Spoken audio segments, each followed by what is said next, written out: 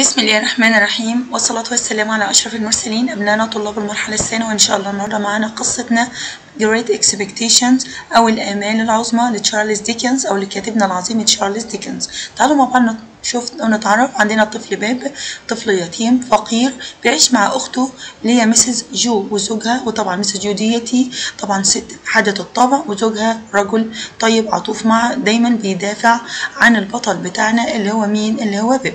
طبعا السيدة دي حادة الطبع. طب تعالى نبدأ كده من القصة من البداية وإحنا معانا الطفل بيب وهو ذاهب لقبر والديه اللي هو مامته ووالده. وأثناء ما كان في زيارة والديه في بعد ما انتهى من الزيارة وهو راجع تقابل مع رجل طبعا سجين هارب وطبعا أمسك بالطفل بيب ويحاول يتفقد الطفل فوجد معاه قطعة من الخبز أكلها وطبعا أشار له على إن والديه توفوا فطبعا الراجل سأله عن اسمه فطبعا قال له بيب وقال له أنا بعيش مع أختي اللي هي زوجة الحداد قال له حداد طيب قول لي الحداد ده طبعا عنده مبرد.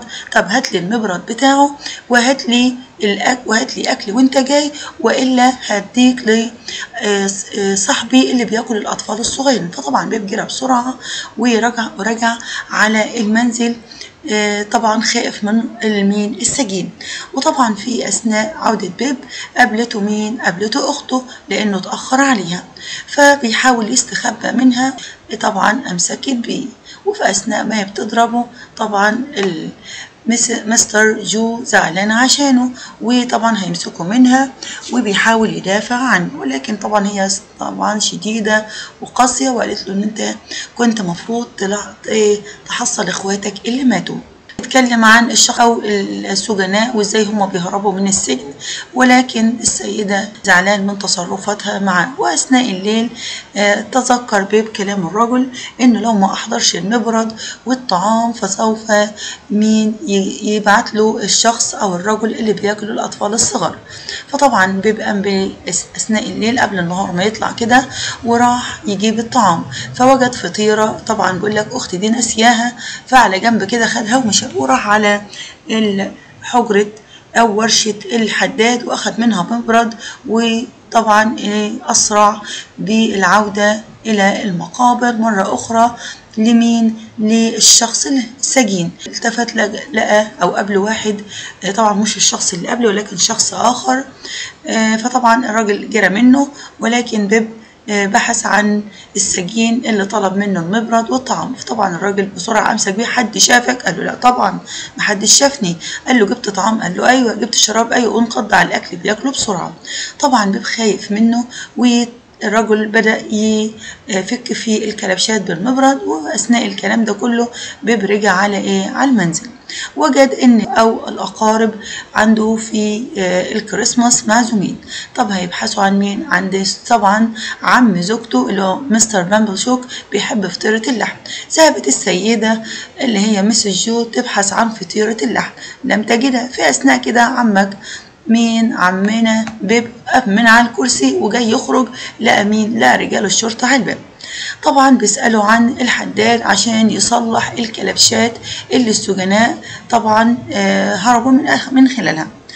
فطبعا بيب استغل الفرصة دي ونسوا موضوع الفطيرة وانطلق هو وجو مع رجال الشرطة واستأذنوا إن هم يبحثوا مين يبحثوا عن السجناء معهم. وفي أثناء بحثهم عن السجناء آه سمعوا أصوات في في أثناء قبض رجال الشرطة على السجناء. فطبعا بيب انطلق وجرى معاهم وعايزين نعرف إيه اللي هيحصل في تشابتر 2 عشان يقبضوا على السجناء.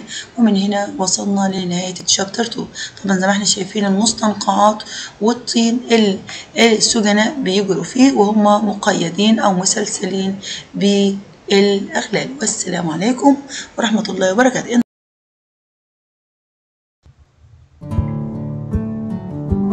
بسم الله الرحمن الرحيم. أعزائنا الطلبة طلاب المرحلة الابتدائية معنا قناة سبحان الله الحياة حلوة هتعرض دروس اللغة الإنجليزية للصف الأول والثاني والثالث والرابع والخامس والسادس الابتدائي. بالنسبة لطلاب المرحلة الإعدادية قناة علي جودة هتعرض بالنسبة لصفوف الصف الأول والثاني والثالث الإعدادي اللغة الإنجليزية.